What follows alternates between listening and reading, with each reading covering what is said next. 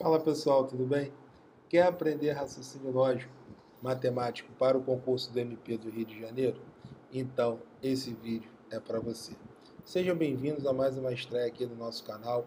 Para quem não me conhece, sou o professor Marcão e junto com o professor Renato Oliveira, através do método MP, ajudamos nossos alunos a transformar sonhos em realidade. E nesse vídeo de hoje está aqui, ó, tudo lindo.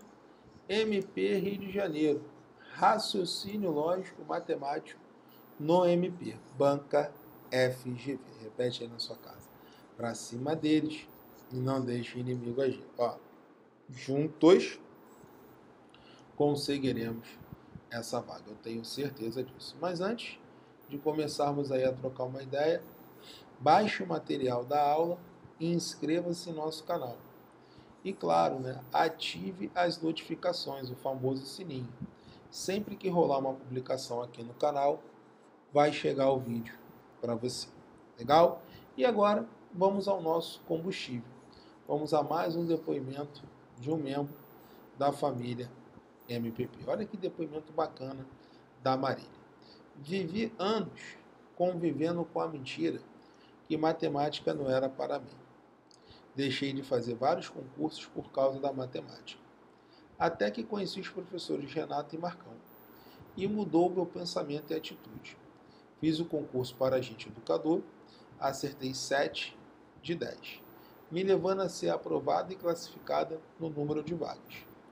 Marcando o meu V da vitória e já estudando para outros concursos. Obrigada, professores Marcão e Renato. Sou muito grata a vocês e ao MPP. Marília Patrícia. Marília, juntos. Isso é que eu falo, juntos conseguiremos essa vaga. Sensacional o seu resultado. Essa prova, ela foi realizada esse ano. Foi uma provinha muito complicada, muito acima do nível. Né? Não, ninguém esperava a prova de agente educador ser do nível que foi. Realmente foi muito complicada muitos alunos zerando aí as provas, mas quem estudou aqui no MPP conseguiu se safar e foi aprovado. Pô, ela acertou 7 de 10, então ela foi muito bem, porque a maioria dos alunos acertavam 3, 2 ou até mesmo zeravam a prova. Que resultado fantástico. Muito obrigado pelo seu depoimento e eu tenho certeza você que está aí nos assistindo, que vai fazer o MP do Rio, isso pode acontecer com você? Com certeza. Basta você dar o primeiro passo. Qual é o primeiro passo? Você acreditar que é possível e parar de encontrar, de parar de, de apontar né, culpados para as suas derrotas. Parar de falar, né? falar pouco né? e agir, né? começar a agir, levantar, correr atrás. Como é que eu faço para comprar o curso aqui no Matemática para passar? Como é que eu faço para estudar matemática? Enfim, começar a agir, pessoal. Parar do blá blá blá, sair do blá blá blá. Né? Agora é foco, pensar que faltam aí né, alguns dias aí para a prova, mas pelo curso ser online tem como ainda você correr atrás do seu prejuízo. Né? Já fiz um cálculo aqui, dá mais ou menos, né, você comprando aí o curso com a gente, dá mais ou menos aí três vídeos por dia, quatro vídeos para você assistir.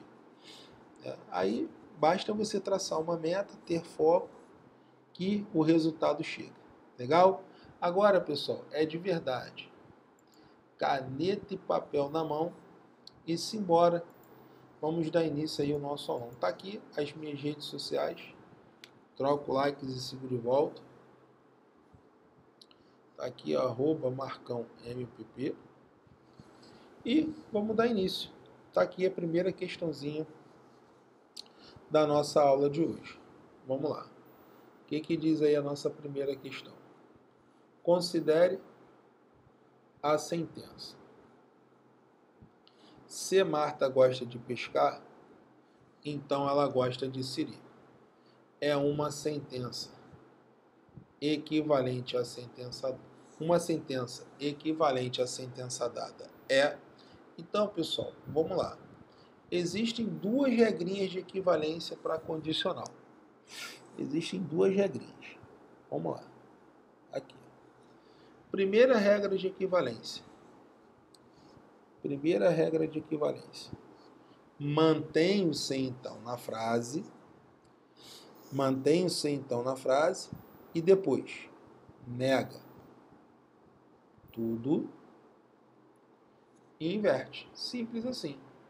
Então, mantém o sem então na frase, nega tudo e inverte. Segunda regra de equivalência. A primeira regra de equivalência mantém o sem então na frase. Beleza. Agora, na segunda regra de equivalência, o sem então ele vira o ou. É a regrinha do Neymar. Nega a primeira ou mantém o quê? A segunda. Olhando aqui as alternativas, fica claro para a gente que ele mantém o sem então na frase. Se ele mantém o sem então na frase, ó, todas as opções têm o sem então. Aí o aluno tem que ter né, essa percepção na prova, dar uma olhadinha nas opções. Se ele mantém o sem então na frase, ou seja, o sem então ele se transforma no sem então, né, o sem então virou o sem então novamente.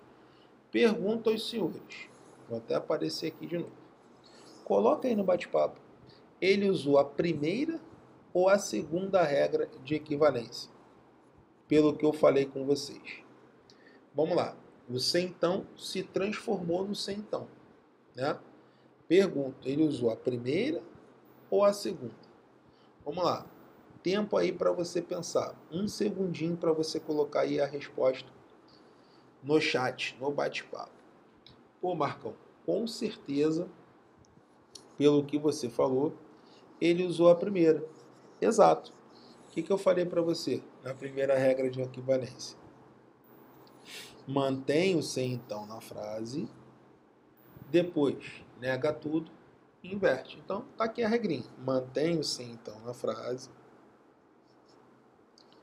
Mantém o sem então na frase. Agora, nega tudo e inverte. Aí vamos lá. Marta gosta, vai ficar Marta não gosta. Marta gosta de Siri, vai ficar Marta não gosta de Siri. Só que se eu passar para dar vista nos caderninhos, a galera desesperada vai marcar a letra A. Só que aí, pessoal, você não está seguindo a regra. O que, que eu falei para você? Para ser equivalente, não basta só negar. Está aqui, ó. Tem que negar e inverter. Por isso que você errou aí de bobeira. Então, para ser equivalente, não basta só negar. Tem que negar e inverter. Então, como é que ficaria aí a negação? Se Marta não gosta de siri, então Marta não gosta de pescar. E isso acontece aonde? Na letra D de dado. Opa! Beleza? Então, foi mais uma questãozinha aí para conta. Questãozinha de equivalência lógica que você não pode errar na sua prova. Legal? Passamos agora para a próxima questão. A próxima questão é de argumento. Olha aí, Renato falou a verdade quando disse, está aqui, ó, corro ou faço ginástica, acordo cedo ou não corro, como pouco ou não faço ginástica. Certo dia, Renato comeu muito. É correto concluir então, pessoal, questãozinha de argumento, né? Ele te dá aqui uma sequência de afirmações e no final ele pede a conclusão. Então, vamos lá. Seguindo aí a questão, todas essas afirmações, elas são o quê? Verdadeiras. Opa, é o inimigo agindo aqui na nossa mesa. Vamos lá. Todas essas afirmações, elas são o quê, pessoal? elas são verdadeiras. Aí vamos lá. Lá no final, geralmente tem uma frase solta, uma proposição simples, que é o começo né, da nossa análise. Vamos lá. A partir dela, vamos descobrindo aí as outras. Renato comeu muito. Tá aqui no final. Renato comeu muito. Isso é verdadeiro. Então, como pouco, é o contrário é falso. Só que no ou, pessoal, para dar verdadeiro, ó, no ou, para dar verdadeiro, tem que ter pelo menos um verdadeiro. Então, se o segundo é falso, perdão, se a primeira parte é falsa, a segunda tem que ser verdadeira. Aí eu vou brincando aqui, ó. Não faço ginástica é verdadeiro. Faço ginástica, ao contrário, é falso. Só que qual é o bizu? No ou, para dar verdade, tem que ter pelo menos um verdadeiro. Então, se a segunda parte é falsa, a primeira tem que ser verdadeira. Então, corro é verdadeiro. Se corro é verdadeiro, não corro é falso. Tudo lindo. No ou, o que, que eu acabei de falar para vocês? Coloca aí no bate-papo. No ou, para dar verdadeiro, no ou, para dar verdadeiro, tem que ter pelo menos um verdadeiro. Então, se a segunda parte é falsa, a primeira tem que ser verdadeira. Feito a análise, vamos à conclusão. Agora eu chego aqui na conclusão. Vamos lá.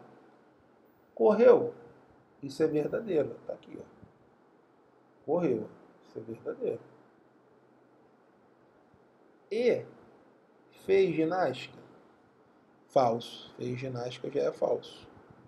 Então tudo eu estou tirando ali no texto. No E, se tem um falso, o resultado dá falso. Então não pode ser a letra A. Não fez ginástica. Ó, não faço ginástica é verdadeiro.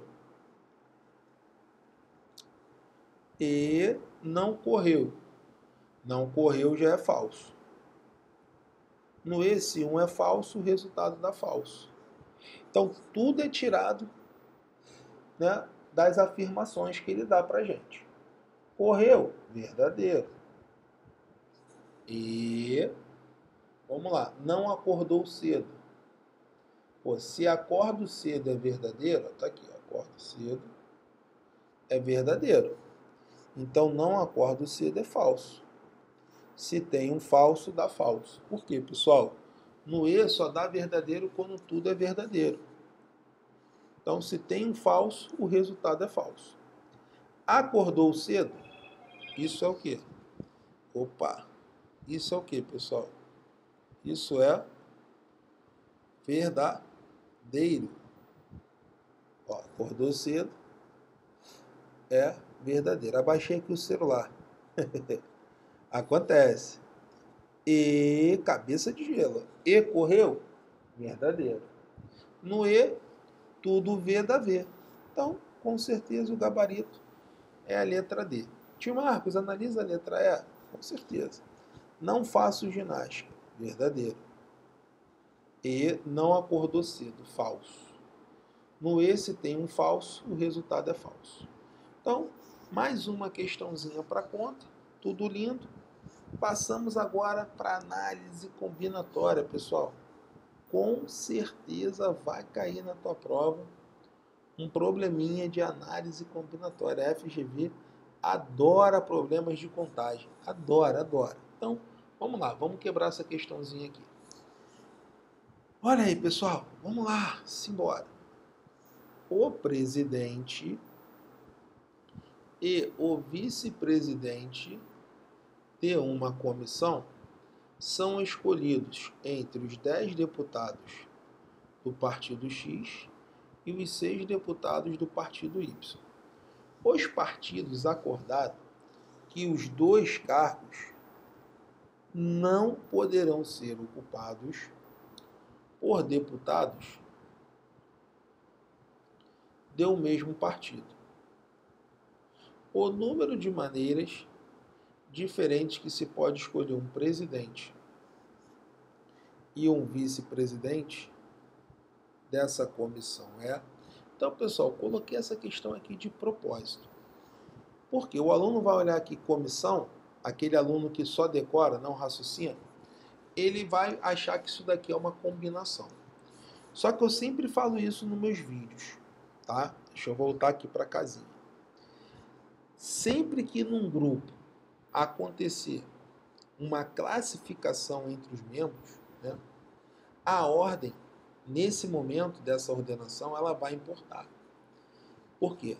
Ele classificou as pessoas dentro do grupo. Então, sempre que tiver uma classificação dentro do grupo, esse grupo não será considerado uma combinação. Tá legal? E sim um arranjo, porque a ordem importa. Né? Marcos presidente, Renato vice-presidente.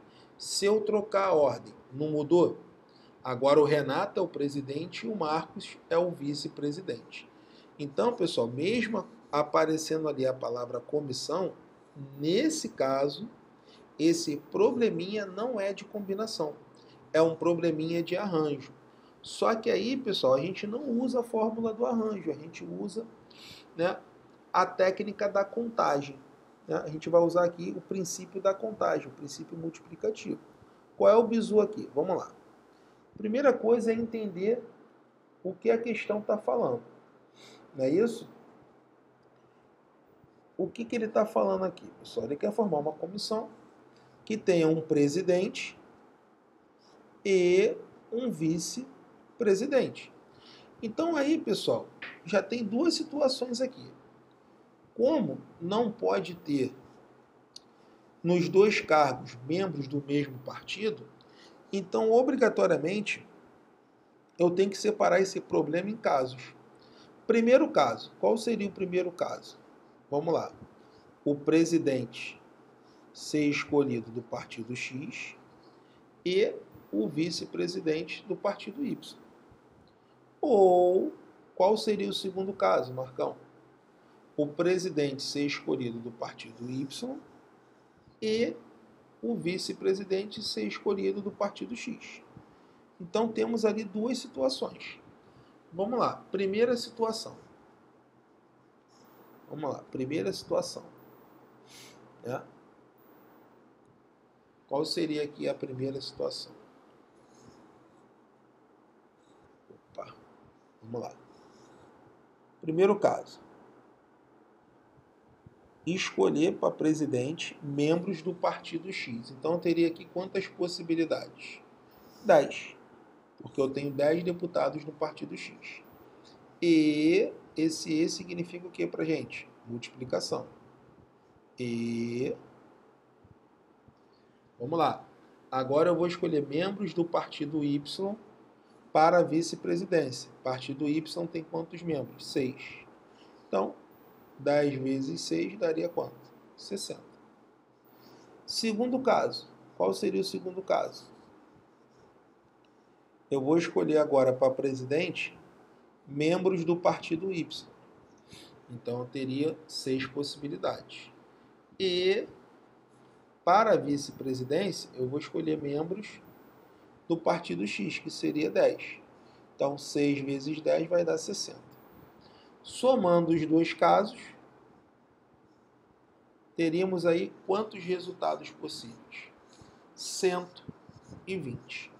Gabarito, letra E, de eu vou passar no concurso do MP Rio de Janeiro.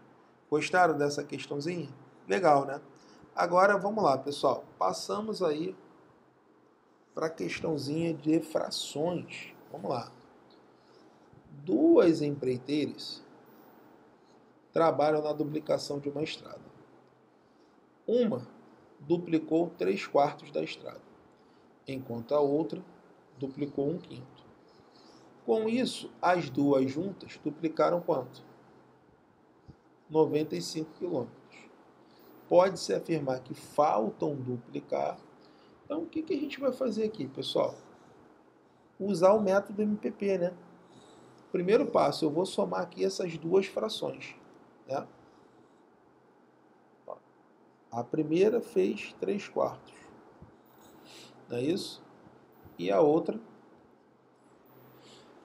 né, a outra empreiteira, fez o quê? Um quinto. Então, eu vou somar aqui essas duas. 3 quartos mais o quinto. Como é que a gente soma frações? Multiplica e cruza. Então vamos lá. Multiplicando embaixo. 4 vezes 5, 20. Agora vamos lá, cruzando. 5 vezes 3, 15. 4 vezes 1, 4. 15 mais 4 vai dar quanto? 19. Então, elas juntas fizeram 19 partes de 20. Não é isso? 19 20 avos.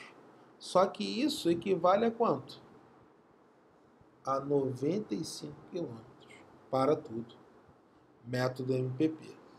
Apareceu igual, encontro total. Repete aí na sua casa. Apareceu igual, encontro total. Então, fazendo esse macete, eu vou encontrar a extensão da estrada. Então, o que, que eu vou fazer aqui? O que, que diz o macete? Apareceu igual, encontro total. Você vai dividir o valor pelo de cima e o resultado você vai multiplicar pelo de baixo. Então, o total vai ser igual. Vamos lá. 95 dividido por 19. 95 dividido por 19 vai dar 5. 5 vezes 20 vai dar 100. Só que 100 é o total. E ele está perguntando aqui para gente quanto falta. Então, falta. Pô, a extensão da estrada é 100. Os caras já fizeram 95. Então, quanto falta? 100 menos 95. 100 menos 95 vai dar 5. Gabarito letra E e essa foi a nossa última questãozinha. Ah, Marcão, eu não acredito. Não estou acreditando nisso. Pode acreditar, pessoal. Essa foi a nossa última questãozinha. Mas não vai embora, não. Deixa eu aparecer aqui novamente. Você que está se preparando para o MPRJ e quer ser aprovado, tem aqui, ó. Existe uma luz no fim do túnel. Está aqui, ó. Curso MP Rio de Janeiro específico. É isso aí. Esse curso, pessoal, ele está sensacional. Esse curso, ele está com quatro bônus. É isso aí. O curso está completinho. Ele está com quatro bônus separados, né? Tá lá bonitinho para você. Tem a parte de matemática, tem a parte de raciocínio lógico, todo organizadinho para você não se perder. E com certeza esse curso vai levá-los aí para um outro patamar. Com certeza vocês, é, tenho certeza disso, vão ficar de cara por gol na hora da prova. Maiores informações, quer saber detalhes? Está tudo aqui, ó, na descrição do vídeo. Na descrição do vídeo está escrito lá curso, aí vai ter um link do lado. Você vai clicar nesse link e você vai cair na página do curso. E na página do curso, né, na página de venda, vai ter lá todas as informações, quais seriam esses quatro bônus, tudo bonitinho para você. E no final vai estar tá lá o valor do seu investimento. Então, pessoal, não perca essa oportunidade. O investimento está bem bacana e é a sua carreira que está em jogo, pessoal.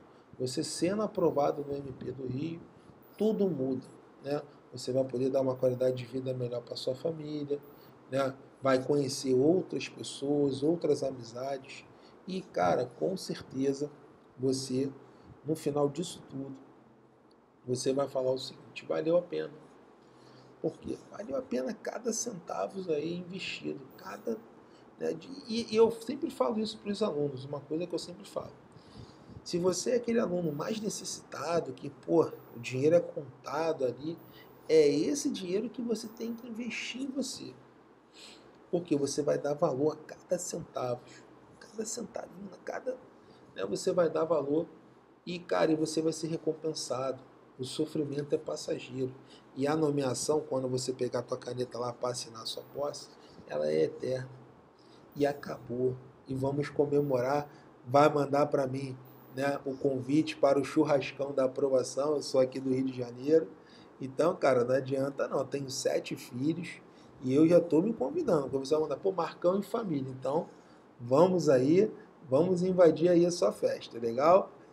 é isso aí. Então, pessoal, é esse é o recadinho para descontrair. Então, convidando, já sabe que eu vou levar, eu levo aí a minha família, beleza? Então, pessoal, qualquer dúvida, né, tirando aí a brincadeira, Entre em contato com a gente através das nossas redes sociais ou através do nosso WhatsApp, que está aqui na descrição do vídeo. Legal? Agora, vamos à nossa mensagem. Olha que mensagem bacana. Foco é dizer não. Ah, Marcão, vamos ali tomar uma. Não, não vou. Tô focado, tô aqui, pô, tô disciplinado, velho. Não vou, não vou. Celular desligado, concentração, cabeça de gelo. Ah, vamos à praia, pô, tá mó solzão. Não vou. Vou estudar. Né? Vou estudar. Acabou. Você tá focado, você tá determinado. Nada vai te abalar. E juntos conseguiremos essa vaga. Legal, pessoal? Uma boa noite a todos. Fiquem com Deus e matemática aqui para passar. Valeu, pessoal. Um abraço.